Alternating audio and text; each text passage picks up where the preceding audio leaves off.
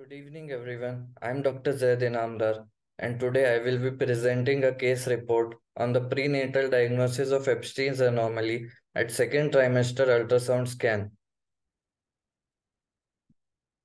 To begin with, Ebstein's anomaly is a rare complex cyanotic congenital heart disorder which primarily involves the tricuspid valve apparatus and the right side of the heart. The pathophysiology implicated here is the failure of delamination of tricuspid valve leaflets, which gives an appearance of apical displacement of the valve along with a small functional right ventricle. Echocardiography is the investigation of choice for diagnosis. However, with careful sonographic evaluation, detection of this anomaly during routine second trimester ultrasound screening is also possible.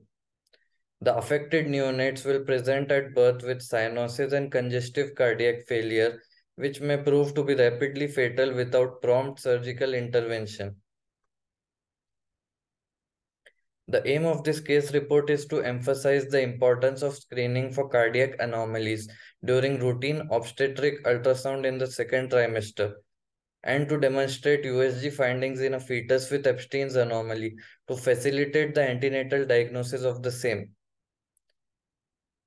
I present a case of a 31 year old primigravida with 23 weeks of gestation who presented to our OPD for routine second trimester obstetric ultrasound scan, also known as the level 2 anomaly scan. Patient was vitally stable at the time of examination. A 2D ultrasound examination was performed using a 3.5 MHz transabdominal curvilinear probe on the Philips ClearVue 550 ultrasound equipment at our institution. The ultrasound showed a single live intrauterine fetus of gestational age 23 weeks and 2 days with adequate liquor. However, the cardiac screening ultrasound revealed the following malformations.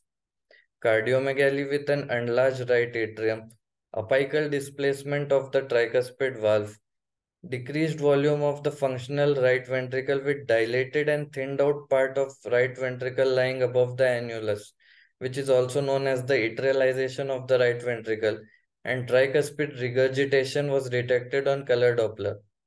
Based on the above findings, a provisional diagnosis of fetal Ebstein's anomaly was made, which was further confirmed by targeted fetal echocardiography. Now I would like to show some ultrasound images to enhance our understanding of the topic.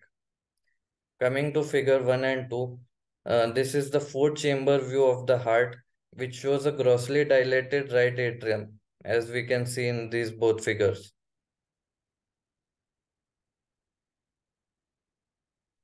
The figure 3 and 4 shows a magnified view of the four chambered heart and here the mitral valve as well as the tricuspid valve has been denoted with the help of arrows. Note the apical displacement of the tricuspid valve in relation to the mitral valve and the dilated thinned out part of the right ventricle which lies above the annulus and is known as the atrialization of right ventricle which is characteristic of the Ebstein's anomaly. In this figure, we see color Doppler image, which shows aliasing of color at the tricuspid valve region and denotes tricuspid regurgitation.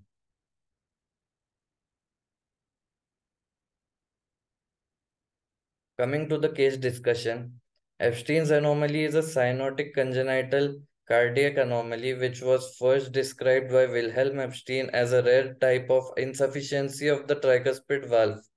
It has a reported incidence of 1 in 20,000 live births and accounts for less than 1% of all congenital cardiac anomalies. The primary pathology here involves the abnormal attachment of tricuspid valve leaflets.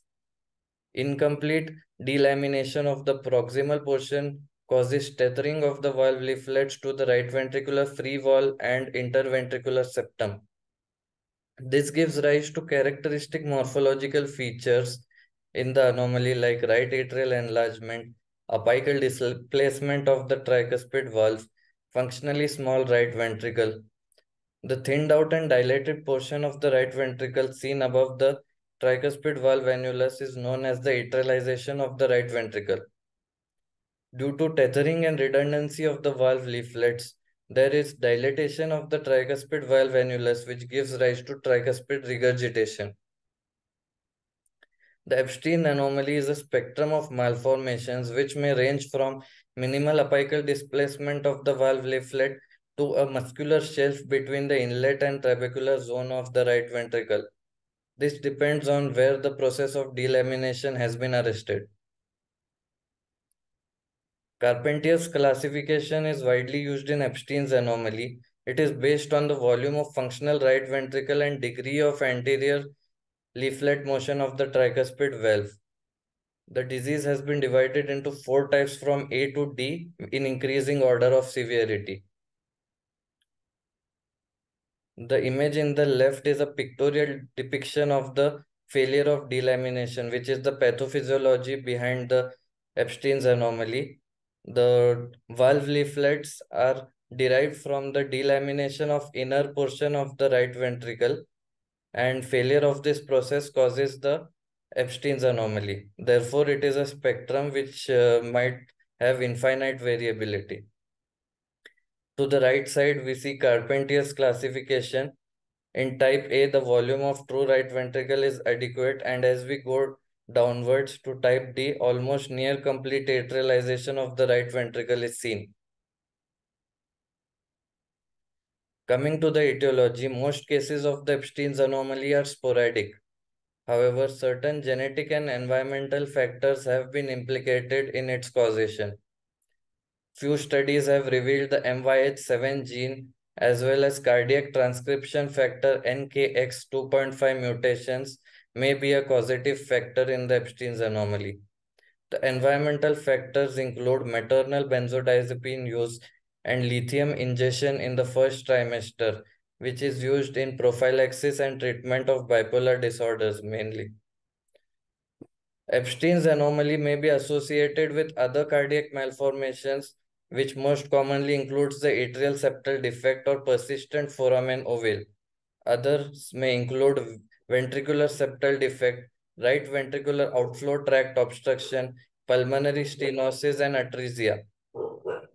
Fetal echocardiography is the investigation of choice for antenatal detection of Ebstein's anomaly.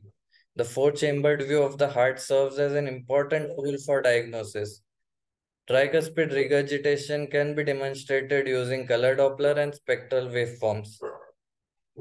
The presence of cyanosis, severe tricuspid regurgitation, and right-sided heart failure in neonates necessitates surgical intervention. Most neonates with symptomatic Ebstein's anomaly at birth cannot survive for long without surgical treatment. The surgical treatment includes tricuspid valve replacement or repair and may also uh, involve correction of the associated malformations like surgical resection of the atrialized right ventricle and thinned out right atrium. Complete repair of the anomaly correlates with a good survival outcome in the symptomatic neonates. Thus, prenatal USG allows for appropriate management, planning of delivery at a tertiary care hospital with adequate facilities for early neonatal intervention, which overall incre increases the survival chances. To conclude, Ebstein's anomaly is a rare type of cyanotic congenital heart disease and is characterized by malformation of the tricuspid valve and right side of the heart. Echocardiography is the investigation of choice for diagnosis of this condition. However, it can also be detected with careful sonographic evaluation during the routine second trimester ultrasound scan. The apical displacement of the uh, tricuspid valve, right atrial enlargement, functionally small right ventricle, and associated atrialization of the right ventricle are key features for its diagnosis. Symptomatic neonates present at birth with rapidly worsening features like cyanosis and right heart failure, and mortality is imminent without prompt surgical treatment. This underlines the importance of early diagnosis of this anomaly in prenatal USG in order to facilitate the antenatal and perinatal management of the affected babies and intervention in early neonatal period and this improves the overall prognosis. That's all from my side for today. Thank you.